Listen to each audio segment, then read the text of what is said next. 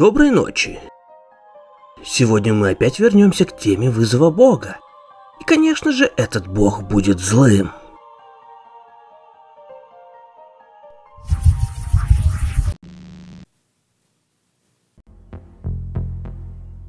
Heart of Sophilamon или Сердце Софиламуна – это приключенческая игра для японских компьютеров NEC PC98 и Sharp X68000, которая некоторое время назад была довольно обсуждаема, в узких кругах, естественно. А все из-за того, что в сети появились гротескные скриншоты, на которых были изображены жуткие монстры и молодая девушка, разваливающаяся на куски. И, конечно же, многим было интересно, о чем эта игра. Но, к сожалению, кроме скриншотов в сети о Heart of Sophilamon абсолютно нет информации. Все темы Темы полны вопросов, а если есть описание, то оно ограничивается лишь названием, годом выпуска и именем разработчиков, причем даже на японских сайтах. Но при этом образы дискет для PC98 и Sharp X68000 в свободном доступе и легко находятся. Но это по сути ничего не меняет, потому что игра сюжетно ориентированная и на японском языке. Я конечно находил сообщение на форуме, что кто-то взялся за перевод на английский, но на данный момент об этом ничего не известно. Ну и конечно же эту игру постоянно включают различные топы и айсберги. По теме самая странная игра или самая страшная. Но естественно люди, составляющие эти списки, не играли в Heart of Sophilamon. Так, к примеру, я нашел Point and Click Iceberg. Это при том, что у Heart of Sophilamon совсем другой жанр. Так почему о игре никто ничего не знает, даже в Японии? Ответ довольно прост. Дело в том, что Heart of Sophilamon это дадзинси.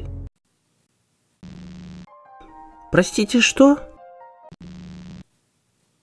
Дадзинси – это японский термин, который изначально использовался по отношению к различной литературе для обозначения некоммерческих самостоятельно издаваемых авторами журналов и впоследствии распространился на мангу и видеоигры. Так вот, Heart of Sophilamon – это дадзинси игра. Такие игры часто любительские и создаются обычно новичками в индустрии за свой собственный счет и свободное от учебы или работы время. По сути, собираются несколько человек с общими интересами и делают игру, тренируя свои навыки. Такие дадзинси Динси-коллективы в Японии называются кружками, а у игр, созданных такими кружками, нет издателя. Их обычно распространяют на собраниях авторов, по почте или на мероприятиях, посвященных аниме и манге. Heart of Sophilamon разработали Ananduli Project, дадинси кружок, который за время своего существования успел создать всего три игры. Heart of Sophilamon, вышедший в 1991 году, была последней. Первой их игрой была Horror of Crydwell, приключенческая игра 89 года, продолжением которой которой и является Heart of Sophilamon. Кстати, в интернете везде почему-то указывают 90-й год, но по факту игра вышла в 89-м. А второй игрой стала простенькая головоломка пазл 90-го года Rotate, где игроки должны были собирать одинаковые кусочки картинки. Да, часто эти картинки были эротического содержания. К слову, обычно дадзинси игры это вообще хинтай. Игры от Ananduli Project по большей части распространялись на различных фестивалях и по почте. Реклама обычно публиковалась в журналах, посвященных компьютерным играм. В данном случае это журнал журнал Технополис, или как его называют в Японии Технополи, издаваемый Такума Шотон с 1982 года по 1994. В 90-е журнал был сосредоточен на играх для взрослых. Реклама Heart of Sophilamon была размещена в специальном разделе Доджин, посвященном дадзинси играм. Конечно же, между хинтайными играми, которые так любили делать дадзинси кружки в то время. Приключенческая видеоигра с первоклассным сюжетом и графикой. Но кто может устоять перед таким описанием? По почте игру можно было заказать из использовав вот этот купон из журнала. При получении игра от Ananduli Project выглядела вот так. Напечатанная на офисной бумаге черно-белая инструкция и самозаписанная дискетка с наклейкой, напечатанной на матричном принтере. И все это аккуратно помещено в пакетик, бюджетно, правда? Кстати, забавно, что когда японцы перепродают такие игры на аукционах, часто указывают, что это не самодельная копия, а оригинальное специфическое издание. Такая дискета с игрой запускается одновременно и на NEC PC98, и на Sharp X6 68 тысяч. Каждый покупатель по почте вместе с игрой получал анкету для обратной связи. В ней нужно было задать разработчикам вопросы, оставить отзыв или указать на глюки и ошибки, которые впоследствии исправлялись. Эту анкету нужно было заполнить и отправить обратно. А через какое-то время вся эта информация размещалась на дискетах, которые раздавались на комикете и других мероприятиях.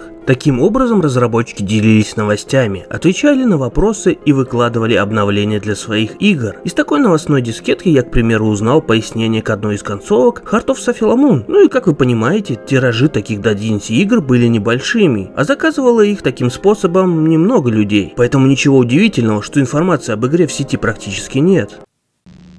Какое длинное вступление. Так что там за игра? Для начала поговорим о Horror of Crydwell, так как эта игра очень сильно связана с Heart of Sapphire и без знания ее сюжета понять, что происходит в Heart of Sapphire будет очень сложно. Игра начинается со строк из Некрономикона, написанных на 751 странице, в которых рассказывается о том, как призвать в наш мир Йог Сатота. Да, отсылка к ужасу Данвича, неплохое начало, но об этом позже. Действие игры происходит в Бостоне в апреле 1989 года. Главный частный детектив Кеннет Маккой. Его новый заказчик – агентство по недвижимости Yellow Wall. И владелец этой фирмы прославился как не совсем чистый на руку человек из-за махинаций с недвижимостью. Yellow Wall хочет, чтобы Маккой выяснил, кому принадлежит участок, на котором стоит так называемое поместье Крайдвелл. И главное, кто его владелец. Помимо этого, Кеннет должен составить план здания. За все это обещано довольно внушительное вознаграждение. Услышав о такой сумме, детектив без раздумий берется за это дело. Но наш герой даже не подозревая, чем это для него обернется. Ужас Крайдвеллов – это приключенческая игра с выбором команд и элементами РПГ и визуальной новеллы, а сюжет вдохновлен различными произведениями Лавкрафта и очень интересен. Поначалу может показаться, что перед нами обычная визуальная новелла, в которой мы перемещаемся по различным локациям, а сюжет двигается сам по себе, но это не так. Игра больше похожа на настольную ролевую игру, где мы выбираем, куда идти и что делать, а с героями происходят различные события, в зависимости от этого выбора. В игре очень мало графики и много текста, Картинки простенькие, мало детализированы и совсем нет анимаций, а большинство событий или действий описываются текстом. В целом визуально игра, конечно, уступает коммерческим продуктам того времени, но все выглядит довольно неплохо, особенно для любительской игры. Также нет абсолютно никакой музыки, вся игра проходит в тишине, что, к слову, в данном случае плюс и добавляет атмосферы. Звуков тоже нет, но скорее всего на реальном железе эту функцию выполняли спикеры самого компьютера. Такой минимализм – вынужденная мера, чтобы уменьшить уменьшить конечный вес игры. Все потому, что чем больше дискет игра занимает, тем дороже ее производить. Так, ужас Крайдвеллов занимает всего одну 5-дюймовую дискетку. Они просто были жадными и ленивыми. И поплатились за это.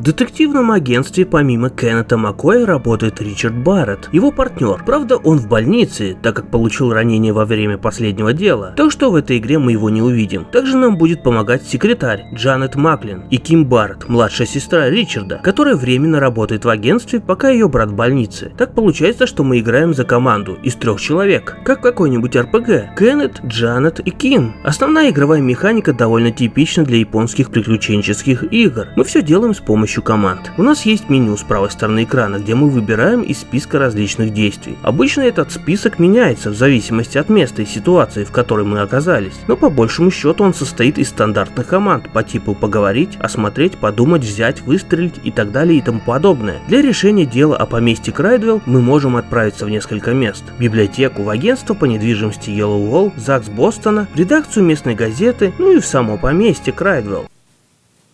В ЗАГСе можно узнать, что последний владелец поместья – это Кэтрин Крайдвелл. Она унаследовала дом в 78 году, после смерти мужа, которого звали Пат Крайдвелл. А родилась Кэтрин в 1839 году. И учитывая, что в игре 1989 год, этой женщине на данный момент должно быть 153 года, поэтому она скорее всего мертва. Также тут можно изучить семейное древо Крайдвеллов. Так сын Кэтрин по имени Гарольд женился и переехал в Техас в 1881 году. В этом году у него родилась есть дочь Изабелла, но она скорее всего тоже мертва. На данный момент ей должно быть 108 лет. А в библиотеке ничего интересного найти не получится. Но если постараться, можно обнаружить различные статьи о доме Крайдвелла в редакции местной газеты. В некоторых из них говорится о привидении женщины, которую часто видят в окне башни, и криках, доносящихся по ночам из дома. А большинство местных жителей считают это поместье вообще проклятым. Ну а в агентство по недвижимости Yellow Wall стоит идти только если вы выполните свою работу. Рядом с поместьем есть пара домов, и мы можем опросить соседей. Правда, толку от этого не будет, они очень напуганы и не хотят разговаривать. Поэтому единственный вариант узнать, что происходит, это поехать в само поместье Крайдвиллов лично.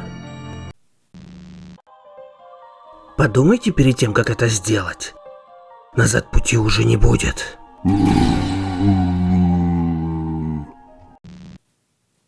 Войдя в дом, мы переходим в режим исследования, и это довольно необычная часть игры. Вместо картинок интерьера, как в других подобных приключенческих играх, мы видим только план комнаты, в которой герой находится. На этой карте есть компас и различные обозначения. Красные черточки двери, голубые окна, синим обозначены лестничные пролеты. Поместье состоит из двух этажей, подвала и небольшой башни. Нам нужно обойти весь дом, используя команды, и осмотреть все комнаты, составив подробный план здания. У каждой комнаты мы можем прислушаться, узнать, есть ли кто-нибудь внутри по звукам, осмотреть пол. Так как в доме давно никого не было, все покрыто толстым слоем пыли. Обычно через эту опцию можно найти чужие следы от обуви. Также можно осмотреть саму дверь, определив все ли с ней в порядке. Она может быть закрыта на ключ, сгнить или, например, заржавел замок. В таком случае ее можно попытаться выбить. В каждой комнате находятся определенные вещи и элементы интерьера. Некоторые из них это просто хлам по типу сломанной мебели, а некоторые важный предмет предметы, так что войдя в новое место, нужно хорошенько осмотреться. Так результатом поиска может стать какой-нибудь важный предмет, к примеру ключ, оружие или книги, которые можно прочитать по возвращению в офис. Все найденные вещи помещаются в импровизированный инвентарь. Интересно то, что поначалу мы не знаем, что находится в комнатах, да и вообще, что происходит в особняке, поэтому процесс осмотра помещений довольно напряженный и интересный, несмотря на простоту. А бояться, к слову, тут есть кого. Враги в игре очень опасны. Они могут убить всю команду команду за считанные секунды. Для того, чтобы с ними сражаться, нужно найти оружие. Изначально револьвер есть только у самого детектива Макоя, но в ходе обследования можно подобрать ружье, которое будет использовать Ким, и пистолет, который возьмет в руки Джанет. Количество патронов ограничено, а пополнить их можно только вернувшись в офис детективного агентства. Также здесь есть оружие ближнего боя, например, перочинный нож, рапира, ножка от стула или молоток. Но скажу сразу, что они довольно бесполезны и нужны только для того, чтобы ввести в заблуждение заблуждение игрока, который еще не в курсе, что убить монстра проще всего огнестрельным оружием. Сами битвы пошаговые и ничем не отличаются от классических сражений в JRPG. Вот только на обдумывание каждого хода нам отводят очень мало времени. Указатель меню меняет цвет с желтого на красный, и в таком режиме выбор происходит автоматически через несколько секунд. Если хотите выбрать не первый вариант, который по умолчанию атака, придется поспешить. Также можно сменить оружие или попытаться убежать. У каждого персонажа по две характеристики – прочность и разум. Прочность это по сути жизни, они отнимаются от физического урона, причем полученный физический урон в бою фатален и останется с героем до конца игры. Тут нет способа восстановить жизни, причем если любой из персонажей погибнет, то сразу конец игры.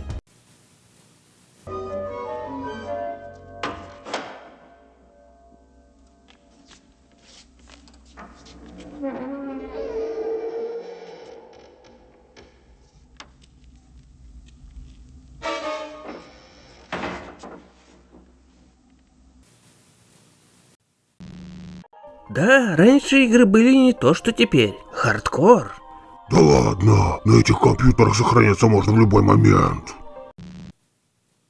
Вторая характеристика – разум. Это психическое здоровье, которое отнимается, когда герои видят что-нибудь страшное, сверхъестественное и читают различные книги с таинственными знаниями. Если психическое здоровье дойдет до нуля, то герой потеряет рассудок и просто упадет без сознания. Уровней в игре нет, и повысить характеристики нельзя, но игра небольшая, и бит с монстрами будет всего две. Для восстановления психического здоровья нужно вернуться в офис и поспать через режим лагеря. Подобный режим был и в Лаплас Нумах, которая также была основана основана на настолках по Лавкрафту. В режиме лагеря также можно посмотреть количество оставшихся патронов, характеристики героев, план здания и семейное древо Крайдвиллов. Horror of Крайдвилл куча различных вариантов умереть, около 30. В них обычно погибает сам Кеннет, или все герои вместе. Деденды, к сожалению, подаются в виде текста. При осмотре первого этажа по сути бояться нечего. Самое интересное начинается, когда мы натыкаемся на заколоченную комнату на втором этаже. Войти туда можно двумя способами. Первый это убрать доски. Для этого вы должны найти ящик с инструментами. Второй это просто прислушаться к звукам из-за двери. В этом случае дверь разобьет невидимый монстр и внезапно нападет на героев, а игра автоматически перейдет в режим битвы. Монстр будет пытаться схватить героев щупальцами и если у него это получится, он полностью высосет всю жидкость из тела жертв, при этом став видимым. Э, где-то я это уже видел. Да, это звездный вампир, которого мы также могли видеть в игре Иру. Звездные вампиры – это монстры, обитающие в открытом космосе. Большую часть времени они находятся в состоянии невидимости и, становясь видимыми только после еды, принимают цвет жидкости, которая была ими поглощена. Если у всех членов команды есть огнестрельное оружие, то вампира можно легко убить. Поэтому пока не обыщите другие комнаты, подходить к этой двери не стоит. Интересно, что от этого монстра можно попытаться убежать, переместив тем самым биту в другую комнату или даже на другой этаж. Но это бесполезно, монстр будет преследовать героев пока их не убьет. А если выбежать на улицу, мы автоматически проиграем, потому что монстр убежит из дома и начнет убивать всех в округе. В общем, для прохождения нужно обязательно убить эту тварь. В комнате, где был звездный вампир, мы обнаружим два иссохших трупа. Похоже, их кто-то запер с монстром наедине.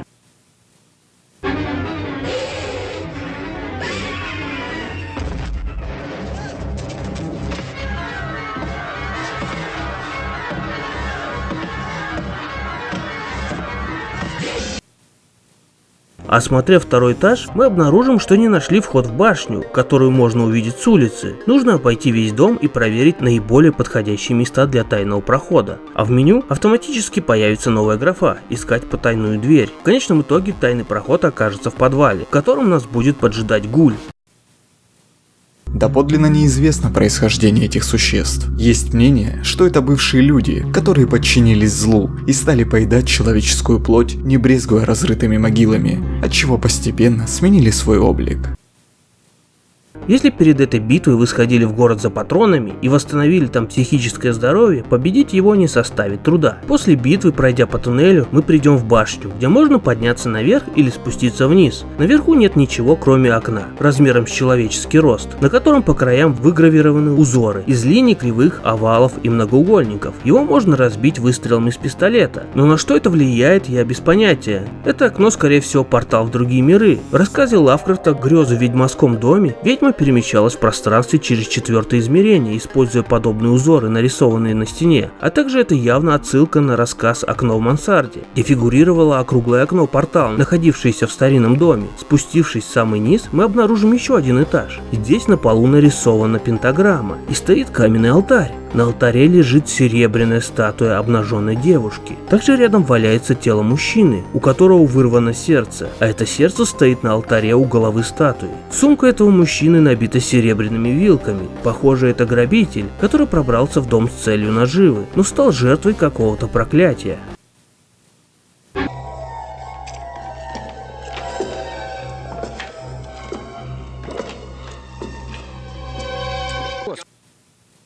Если мы просто так подойдем к алтарю, нас постигнет участь грабителя. Для того, чтобы избежать смерти, нужно нарисовать защитный знак. Но об этом сначала нужно прочитать в одной из книг, которую мы найдем в поместье. И тогда в режиме лагеря можно будет выбрать эту опцию. На этаже есть еще одна дверь, и если в нее войти, на нас выбежит полусгнившая разлагающаяся старуха с ножом. Кто она ранит Кеннета в руку, и если к этому моменту у вас будет мало жизни, герой моментально погибнет. В противном случае Кеннет достанет револьвер и выстрелит ведьму прямо в голову. Она, естественно, погибнет. Я думаю, вы догадались, что это старая женщина Кэтрин Крайдвелл. Зайдя в комнату, обнаружим логово ведьмы, забитое различными ингредиентами для ритуалов, сушеными грибами, глазами тритонов, хвостами гадюк и другими подобными штуками. Правда, большую часть из них ведьма съела. Тут также полно старинных книг, свечей, масок и других других оккультных вещей, а в центре на столе лежит дневник Кэтрин Крайдвелл, который мы естественно забираем. Осмотрев алтарь, выясняем, что статуя – это живая девушка, покрытая серебряной краской. Изабелла, внучка Кэтрин Крайдвелл. Она каким-то странным образом не постарела, на вид ей около 20 лет. Собственно, на этом мы завершаем осмотр здания. У нас есть детальный план всех комнат и даже живая хозяйка дома. Изабелла. Детектив относит девушку в ванную на первом этаже, а Джанет и Ким начинают отмывать ее от краски. Но вдруг Кеннет слышит крики. Ворвавшись в ванную, он видит Изабеллу с оторванными руками и ногами, а Ким с Джанет потеряли сознание. Дальше в течение нескольких минут Изабелла полностью разваливается на куски, прямо на глазах у Кеннета. Какой ужас. Да. Отойдя от шока, герои едут к нанимателю, в агентство по недвижимости Yellow Wall. Там разговариваем с Yellow Wall, отдаем ему план здания, а на вопрос о владельце отвечаем, что он умер, и забираем заслуженную награду. Также от Yellow Wall можно узнать, что весь сырбор из-за того, что поместье присмотрело себе какая-то важная шишка. Вернувшись в офис, Кен читает дневник погибшей ведьмы и узнает, что же произошло на самом деле. Вся эта история началась еще до женитьбы Пата и Кэтрин. Семья Крайдуэллов эмигрировала из Испании. Они были культом, который верил в Йоксатота, хранителя врат.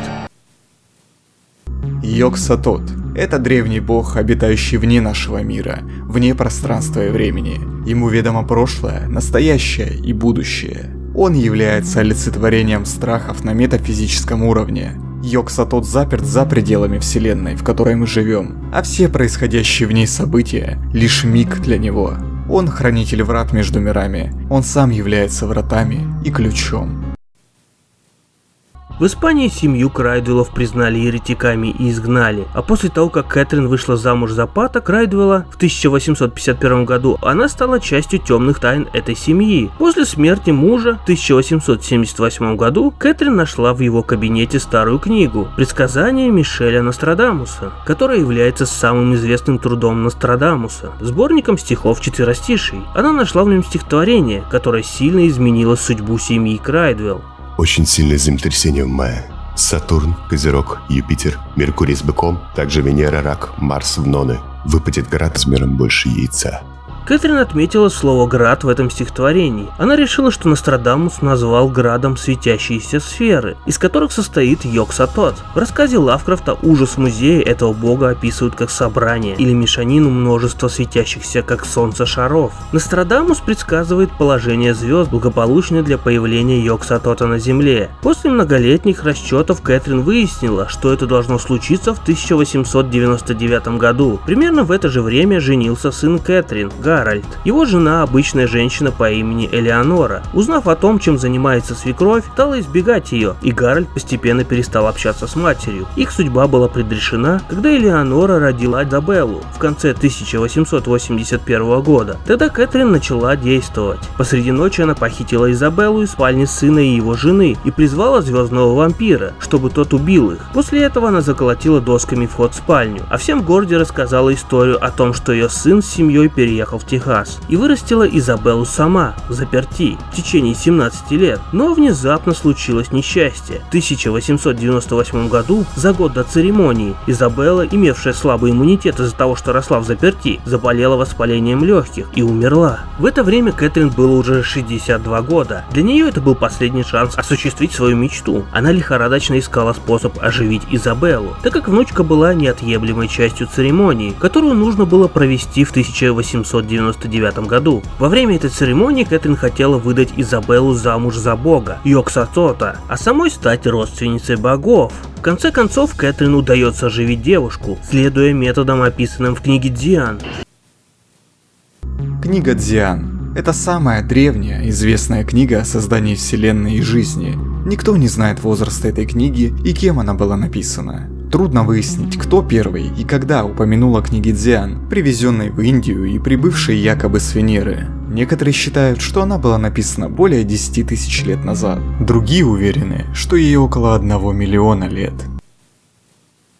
Однако в мае следующего года, когда пришло время проводить церемонию, Изабелла, восстановившая свое сознание, отказалась в ней участвовать. Тогда Кэтрин загипнотизировала ее и вызвала Йоксатота. Однако его не удалось обмануть, и Кэтрин сошла с ума при виде истинной сущности бога, а после Йоксатот вернулся в свое измерение. Так Изабелла осталась лежать загипнотизированной в магической пентаграмме, которая поддерживала ее жизнь, а безумная Кэтрин осталась в подвале до сего момента. Какая печальная история. Они заслужили все это. А внучка? Внучка в первую очередь. Она могла просто зарезать бабку, а не ждать конца света.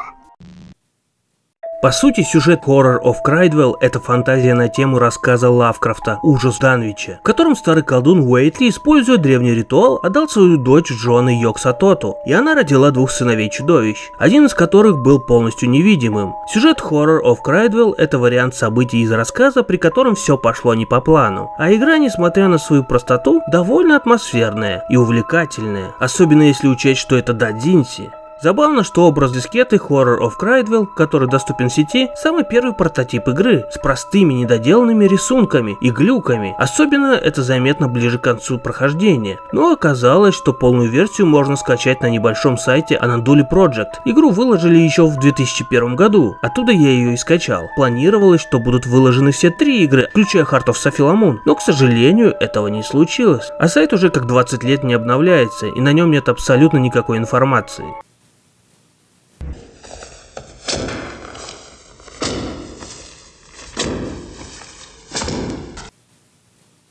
После выхода Horror of Crydwell Ananduli Project изначально не собирались делать продолжение. Они хотели, чтобы все их игры были в разных жанрах. Они сделали приключения, головоломку и планировали выпустить экшен. Но внезапно Horror of Crydwell стала довольно популярной и получила хорошие отзывы от покупателей, которые просили сделать продолжение. И тогда Ananduli Project решили пойти в банк сделав вторую часть. Но вы знаете, получилась такая ситуация, когда первый ролик посмотрело много людей, автор думает, что эта тема интересна и выпускает выпускает второе видео на ту же тему, а его никто не смотрит. Вот что-то такое произошло с Horror of Crydwell 2. Маленький Дадзинси кружок откусил больше, чем мог проглотить. Они сделали приключенческую игру в разы масштабнее и лучше предыдущей, потратив на ее разработку целый год. Причем она вышла сразу на четырех дискетах, что по словам программиста потребовало достаточно крупных вложений.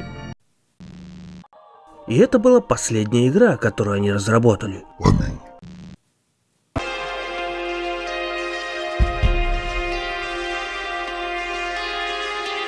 Shelter from the war Taking place inside my head Careful not to trip the wires that detonate my self-respect What did you intend for me? Pull the blind so I can see If you're out to listen, yeah!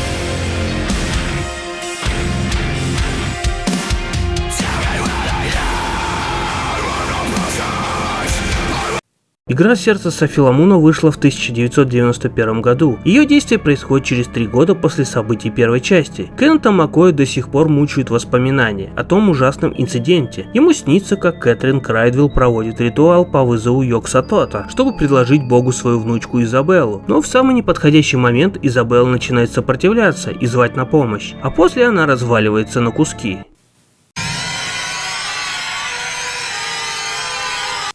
Кеннет просыпается в больнице. Он туда попал после того, как повредил ногу, играя в футбол. Прогуливаясь по коридору с Джанет, с которой он теперь помолвлен, Кеннет замечает за окном девочку, за окном третьего этажа. А после выписки из больницы он узнает, что его партнер Ричард пропал. Да, это тот парень, что был в больнице всю прошлую игру. Параллельно Кеннета хочет нанять адвокат по имени Лестер. Он назначил детективу встречу на Вестчестерском кладбище. Во время похорон семейной пары Лестер знакомит Макоя с шестилетней девочкой, Элис Мелсон. Отец Элис, Эндрю Мелсон, был профессором археологии. И это та самая девочка, которую Кеннет видел в больнице. Ее родители недавно погибли при пожаре, а она единственная, кто выжил. В Бостоне у Элис не осталось родственников, но в Египте живет брат матери по имени Аль-Хусейн. Работа Кента заключается в сопровождении ребенка до Каира.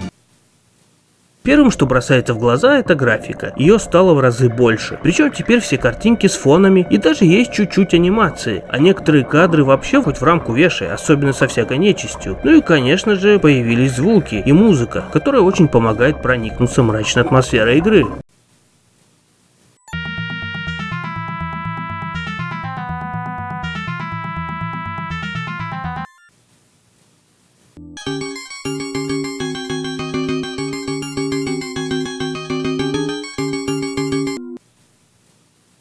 Сердце Софиламуна это по-прежнему приключенческая игра с выбором команд. И их несколько. Разговаривать, думать, смотреть и идти. Так же как и в Horror of Crydwell будут появляться и дополнительные опции в зависимости от ситуации. Несмотря на линейность, в этой игре есть небольшая вариативность, и мы сами выбираем, чем заняться в первую очередь. К примеру, пойти с Элис к ее сгоревшему дому, или же отдать предпочтение расследованию пропажи Ричарда. А может вам захочется выяснить причину таинственного самоубийства. Пожалуйста. Можно, конечно, попытаться сделать все и сразу, сразу, но для появления некоторых квестов придется запустить определенные триггеры, а как это сделать не всегда очевидно. Поэтому при первом прохождении вы скорее всего что-нибудь пропустите. К примеру, для появления квеста с походом на пепелище дома Мелсонов нужно настойчиво разговаривать с Элис. Это при том, что она вообще не желает говорить после трагедии, случившейся с ее родителями. В целом акцент геймплея сместился на разговоры с людьми, а игра превратилась по сути в визуальную новеллу. Инвентаря теперь нет, как и вещей, которые можно туда положить. Оружия и врагов тоже нет. Мы просто перемещаемся между различными локациями и опрашиваем людей, узнавая небольшие подробности, которые в конце концов помогут пролить свет на события в игре. А как же стрельба из пистолетов по монстрам, как в первой части? Но на самом деле не все так просто. Сердце Софиламуна условно разделено на три части, геймплей которых различается. Бостон – это детективная визуальная новелла. Египет – приключения с элементами РПГ, где нам придется исследовать псевдо 3D лабиринт. И опять Бостон, где нас ждет развязка с множеством ситуаций, где нужно делать молниеносный выбор, от которого будет зависеть судьба героев. Так что с этой игрой не соскучишься.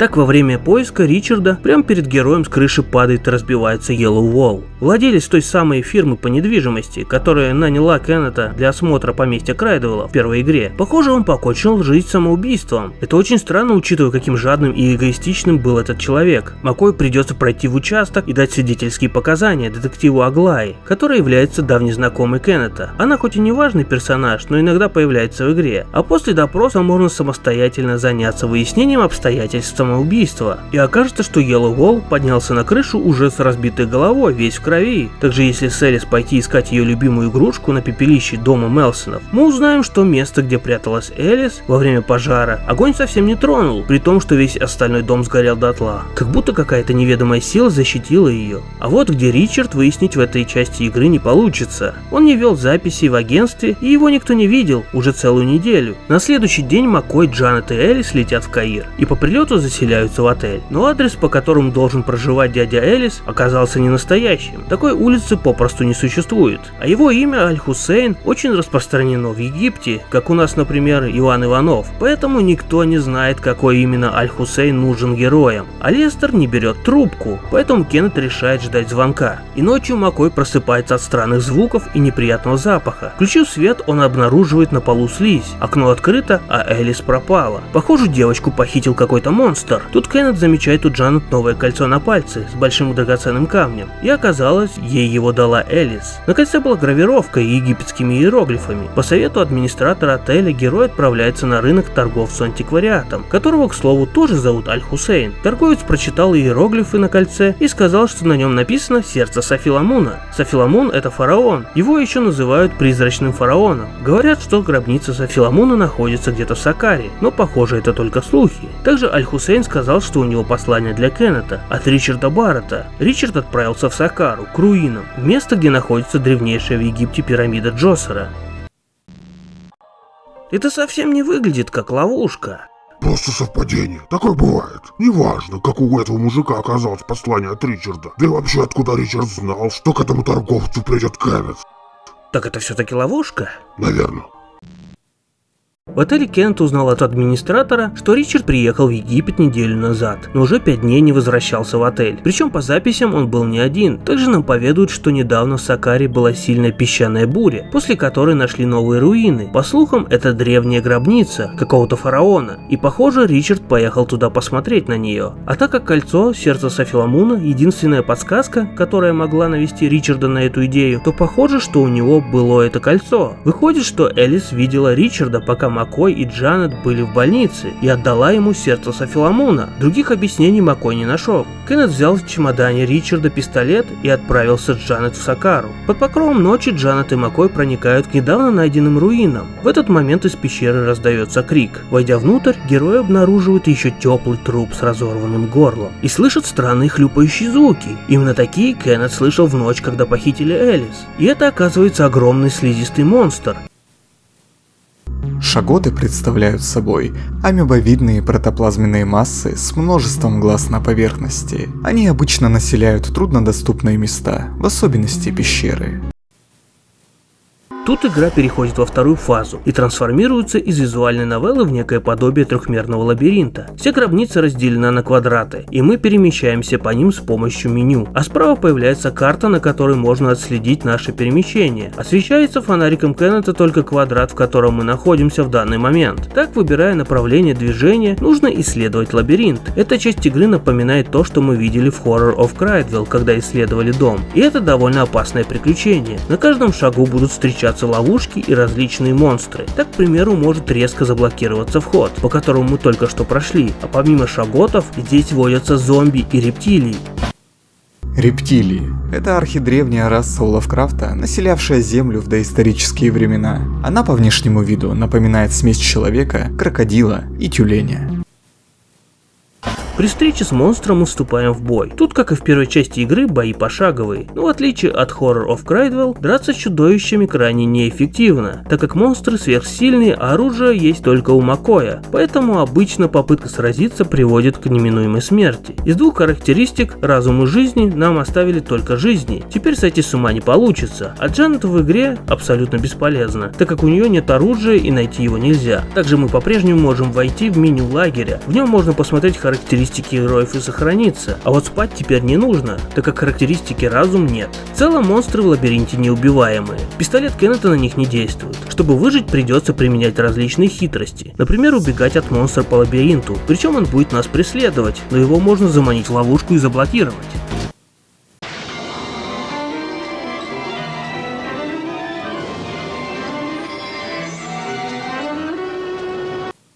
Также умереть в гробнице можно более изощренными способами. Например, Макой и Джанет находят на одной из стен древний рисунок предсказания. На нем изображены наши герои, а также ритуал, в котором Ричард, истекающий кровью, висит вверх ногами над чашей. А вокруг стоят люди в масках и балахонах. Вторая половина этого рисунка предсказания закрыта. Если ее открыть, то мы увидим, как Джанет разбивает голову Кеннету, и это сразу же произойдет в реальности. После смерти выдается номер концовки, к примеру 7650 66. И таких концовок в игре очень много, смертельных концовок. Номер в конце написан не просто так, это код. В главном меню игры есть раздел руководства короля смерти. Представлено оно в виде книги, а код является номером страницы. Вводим его и читаем таинственное послание, являющееся дополнением концовки. Код 7656 я получил, когда Кеннет застрелился. Введя этот номер, получим послание. Что такое великая воля? Не зная этого, ты не должен смущаться, глупо охотник, сломавший свой лук. И это не все, нам выдают еще номера двух страниц, поясняющих два слова в этом послании – «великий» и «лук». Вводим их. Великий – это символ того, что находится за пределами человеческого понимания. То, что превосходит живых существ. Бог необъяснимый. И лук. Символ того, что ранит. Оружие, используемое варварами. Смертоносное оружие – это вообще к чему? Я без понятия. Я не думаю, что кто-то кроме разработчиков расшифровывал эти коды после каждой смерти. Но в целом идея интересная, она добавляет атмосферы. Еще был бы какой-то смысл это делать. Дайте угадаю. Дальше они придут в место проведения ритуала, как на том рисунке. Исследуя гробницу, наша цель добраться живыми до места проведения ритуала. Во время побега от Шагота, Джанет повредит себе ногу. К слову, это довольно важный момент. Добравшись до алтаря с чашей, герои видят Ричарда, висящего вверх ногами. В окружении культистов, все как на той картинке. Герои переодеваются в балахоны и маски и подкрадываются поближе. Джанет должна перерезать веревку, на которой висит Ричард, а Кент попытаться отвлечь культистов. Но в момент, когда Кеннет подумала о том, кто скрывается под маской главного культиста, ему отвечает сам этот культист. Я Гарольд Крайдвелл, частный детектив из Бостона. Крайдвелл – это сын ведьмы из первой части игры. Его с женой убил звездный вампир. Ну как он ожил? Наших героев раскрыли. Джанет перерезает веревку, а Макой подхватывает Ричарда. Во время всей этой процедуры ритуальная чаша с кровью разбивается, а Гарольд обращается к одному из богов – ползучему хаосу. Ползучий хаос. Это другое имя Ньярлатхотепа, воплощение хаоса, посланника древних богов. В истинном облике он не имеет четкой формы, однако представляется как нечто очень отвратительное, бурлящее, постоянно меняющееся, как ползучий хаос. Также он может принимать и человеческий облик. В то же мгновение появляется огромная крылатая змея. Убей его! Охотничий ужас. Эти гигантские твари, напоминающие больших кольчатых червей или змей, с огромной парой крыльев, похожих на крылья летучих мышей или драконов. У них странные искривленные головы с отростками, на концах которых растут когти. Охотничьи ужасы служат Нейролохотепу в роли цепных псов. Тут, как во время боя, выделение в меню становится красным, и у нас есть всего несколько секунд, чтобы сделать выбор. Если ошибемся, нас ждет смерть. Например, если выберем выстрелить в охотничий ужас, то мы умрем. А вот выстрелить в Гарольда – правильный вариант. Его маска слетит, и мы увидим, что он полусгнивший зомби. В этот момент монстр схватит Джанет и начнет ее душить, а Кеннета оглушат ударом по голове. Очнувшись, он увидит, что Джанет пропала, а Гарольд взял в руки пистолет. Ему изначально нужен был не Ричард, а именно Кеннет, так как он хотел отомстить мстить за свою мать. Вообще он довольно странный, ведь мать убила его самого, его жену, а внучку обрекла на ужасную смерть. Но он желает отомстить Кеннету. Для восстановления иссохшего тела Гарольд ел плоть и пил кровь убитых им людей. Ему понадобилось три года, чтобы восстановиться до такого состояния, а теперь он хочет съесть Кеннета. Да он прям как восставший из ада. И тут внезапно появляется Ким с винтовкой и начинает убивать культистов. Вся эта стрельба вызывает землетрясение, Макой хватает Ричарда и они с Ким убегают через портал, нарисованный на стене. Этот портал телепортирует героев в офис детективного агентства Макой. Вскоре Ричард умирает от кровопотери. И Джанет, похоже, тоже мертва. Ким рассказала, что пришла в офис, так как искала брата, но увидела там маленькую девочку с черными волосами. Это была Элис. Элис сказала, что Ким должна зайти в нарисованное окно. Так Ким и оказалась в гробнице. Кеннет заметил, что с полок исчезли книги, которые они принесли из поместья Крайдуэллов три года назад. Похоже, их забрала Элис. Ближе к вечеру позвонит Гарольд и скажет, что ждет Кеннета на Вещестерском кладбище. Это же опять ловушка. Приехав на кладбище в одну из могил, Кеннет обнаружит изуродованный труп и по очкам опознает в нем Лестера, адвоката Мелсонов. На грудном кармане его пиджака лежало фото, фото Элис, но на нем у нее почему-то светлые волосы. Осмотрев надгробную плиту, Кеннет обнаружил, что это могила Кэтрин Крайдвелл, и он понял, что это кладбище находится рядом с поместьем Крайдвеллов. Зайдя в церковь, в конце коридора герой находит проход, пройдя по которому попадает в подвал, где на него нападает зомби с дырой в груди, эти усики и борода. Да это тот грабитель, который валялся рядом с алтарем. Похоже, Похоже, проход из церкви ведет прямиком в подвал особняка Крайдвеллов. И судя по этому ходячему трупу, оживили не только Гарольда. Вообще, почему Йеллоу Волл не убрал трупы из поместья? Игнаита! Игнаита! Внезапно заиграл орган, и Кеннет возвращается в церковь. Он обнаруживает, что на столе у алтаря лежит голая Джанет и стоит Гарольд Крайдвелл. В качестве мести он собирается убить девушку, прямо на глазах у Макоя. Но внезапно что-то идет не так, и Гарольд просто падает и умирает. А из органа выходит главный виновник всего происходящего, Элис, на лице которой ехидная улыбка. В разговоре с ней выясняем, что она оживила Гарольда, просто ради развлечения. Внушила ему, что он должен отомстить убийце своей матери, и теперь, когда он стал не нужен, она просто от него избавилась. Адвокат также был убит после того, как выполнил свою работу, а Йеллоу Волла казнили просто так, чтобы заставить Кеннета вспомнить о событиях трехлетней давности. И все это сделано с помощью сердца Софиламуна, проклятого кольца, которое действительно принадлежало фараону по имени Софиламун, но изначально это кольцо Элис, и тот, кто его наденет, будет будет подчиняться ее приказам. Правда, есть маленькое условие. Человек должен сам захотеть надеть это кольцо. И как можно заметить, сейчас кольцо надето на самой Элис. Я ничего не понял. Три года назад ей было три года, как она могла оживить Гарольда. Ты что, не понял, что в данный момент Элис кто-то управляет? То, чье это кольцо? Теперь многое становится понятным. Тот момент, когда Джанет разбивает голову Макою, она была одержима. На трупе Йеллоу также кольцо. Он спрыгнул с крыши не по своей воле. Одержимая Элис достает нож, и тут мы должны сделать выбор, в зависимости от которого получим одну из пяти концовок игры. По крайней мере, я нашел пять концовок. Вполне возможно их больше. Но самую хорошую и самую плохую я открыл. Другие же окончания являются по сути некими гибридами этих двух концовок. В момент выбора курсор станет опять красным, и у нас будет все пару секунд на раздумье, а если ничего не нажимать, а дать волю случаю, то Кеннет стопроцентно погибнет. Причем тут довольно много способов умереть. Например, Макой может совершить самоубийство или его зарежет Элис. Первый вариант действий. Вы стреляете из пистолета и убиваете Элис, а после забираете Джанет с алтаря и уезжаете с ней в офис. Через пару недель Кеннет и Джанет поженятся, а посреди ночи она встанет и начнет что-то бормотать. Джанет? Интересно, сколько дней человек может прожить без еды? Джанет, что случилось? Возможно, на... Настоящая я уже мертва. Настоящее? Не могу поверить. Что ты до сих пор не понял. Полная противоположность того, что было семьей Уэйт. Уэйтли в 1913 году. Отец — это ты, человек. А мать...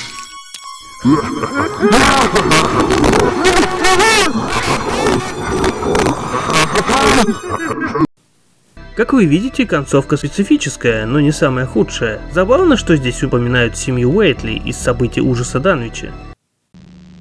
Я опять не понял, настоящая Джанет мертва, а у Кента с этим существом после брачной ночи родились дети. Ларик, где ты взял это кольцо? А что такое? Дай его сюда. Нет, мне его подарили. Другой вариант действий. Если не убивать Элис, а осмотреть лежащую на алтаре Джанет, то Кеннет обнаружит, что у нее нет раны на ноге, которую она получила в гробнице. Плюс Элис даже не пытается ее зарезать, а вот Гарольд пытался и тут же погиб. Элис потеряет сознание, а Джанет моментально станет с алтаря, прочитав мысли Кеннета. Она и есть тот, кто управляет людьми, используя сердце Сафиламуна. Злой бог, который принял облик Джанет. Кто же он на самом деле? Люди называют меня по-разному. Король пустыни, воющий во тьме, безликий бог, хаос, безликий сфинкс, свирепый вестник, ползучий хаос или Ньярлахотеп. Ньярлахотеп. Это тот бог, которого просил о помощи Гарольд в гробнице. Он исчез, а Кеннет отключился, а очнувшись приводит в себя Элис. Оказывается, что на ней надет парик, а на самом деле она блондинка, как на той фотографии. Девочка абсолютно ничего не помнит, что с ней происходило после смерти родителей. И тут есть два варианта развития событий. Один ведет к лучшей концовке в игре, другой к одной из плохих. Вообще на самом деле почти все концовки в игре плохие.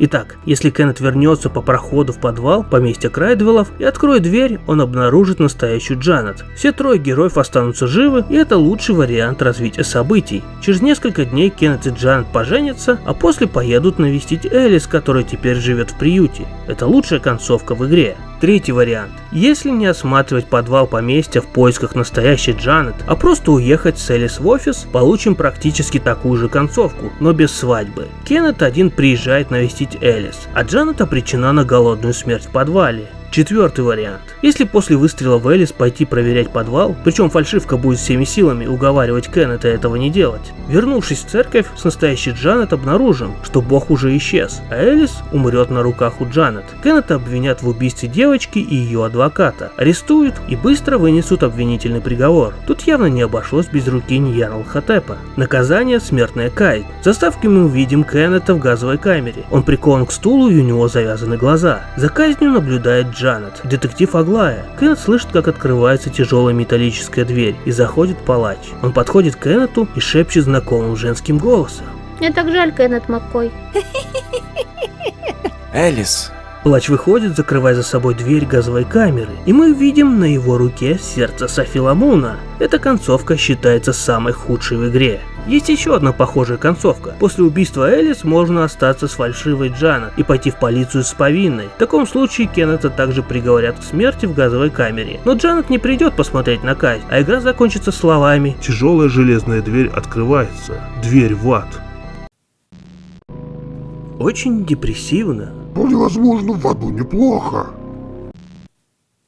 Так о чем же игра? Чтобы это понять, нужно знать, кто такой Ньярлатхотеп. У Лавкрафта он описывается как мастер изменения внешности, имеющий более тысячи форм, многие из которых являются чудовищными и могут свести человека с ума. Ньярлатхотеп часто принимает человеческую форму, чтобы обмануть и манипулировать. Он сближается с человеком, чтобы насладиться его страданиями и гибелью. Это делает его одним из самых страшных монстров из вселенной Лавкрафта. Ньярлатхотеп оживил Гарольда Крайдвелла и внушил ему, что Кэтрин просит хочет отомстить Кеннету Макою. Глупый Гарольд даже не догадывался, что его убила собственная мать. Он придумал план мести, а злой бог подыграл ему. Ярлахотеп взял под контроль Элис Мелсон с помощью сердца Софиламуна. Похоже, ей его подарил отец-археолог. Так Нярлахотеп поджег дом, но не дал девочке умереть, чтобы использовать ее дальше. Пока Кеннет был в больнице, адвокат Мелсонов Лестер по ошибке нанял Ричарда вместо Кеннета, чтобы тот отвез Элис к вымышленному родственнику в Каире. Причем в этот момент Элис была не настоящая. Ярлахотеп превратился в ребенка. Именно его Кеннет видел в больнице. По сути, всю игру Элис это не Ярлахотеп, а настоящую девочку мы видим только в конце, в церкви. В Египте Ричард попал в ловушку, подготовленную Гарольдом для Кеннета, и в результате стал приманкой. Ярлахотеп опять проделал тот же трюк с наймом детектива, но теперь удачно. Был нанят сам Кеннет. В самолете злой бог отдал кольцо Джанет, чтобы контролировать ее, а ночью превратился в одну из своих демонических форм и ушел, но продолжил играть в свою зловещую игру. Злой бог не хотел, чтобы Гарольд просто убил Кеннета, поэтому он нарисовал портал в детективном агентстве Макоя, через который Ким попала в гробницу. Он хотел поиграть с героем, желая увидеть его мучения, страдания и смерть. Для достижения своих целей он использовал друзей и знакомых Кеннета, Элис, Джанет, Ричарда, а тех, кто был не нужен, безжалостно убивал. Так концовка, где Кеннета казнят в газовой камере, самая плохая. В ней герой страдает от того, что он умрет,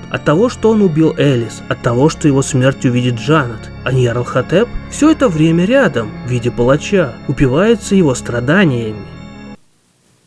В игре много недосказанностей и сюжетных несостыковок. К примеру, я так и не понял, почему Кэтрин похоронили на кладбище, а труп усатого грабителя не убрали. Они же были в одном месте. И вообще, куда делось тело Кэтрин из могилы? Но на все это можно закрыть глаза, так как история довольно интересная. В целом, Heart of Sapphire имеет довольно оригинальный и интересный сценарий. И если ее сравнивать, например, с Dead of the Brain, которая вышла через год в 92 году, последняя довольно сильно проигрывает, но только в плане сюжета. Графически, конечно же, Dead of the Brain на голову выше Heart of Sapphire и это понятно. Но то, что по сути любительская игра сделана на таком высоком уровне с отличными оригинальными идеями и интересным сюжетом, это просто удивительно. Люди, создавшие эти игры, явно любили Лавкрафта. Сюжет вдохновлен персонажем Лавкрафта Нерлхотепом и произведениями, где встречается этот иной бог, а также рассказом «Безымянный город», в котором археолог посреди пустыни в Египте обнаруживает храм, построенный древней расой рептилий, внешне похожих на помесь аллигатора, крокодила и тюленя впечатление. А вот миф про то, что игра очень жесткая и ультракровавая, я хочу опровергнуть. Самый ужасный момент в начале игры, когда разваливается на куски Изабелла. Ну еще покажут старую ведьму с выбитыми мозгами. Ну и голую Джанет. В целом это обычная японская приключенческая игра, без каких-либо перегибов.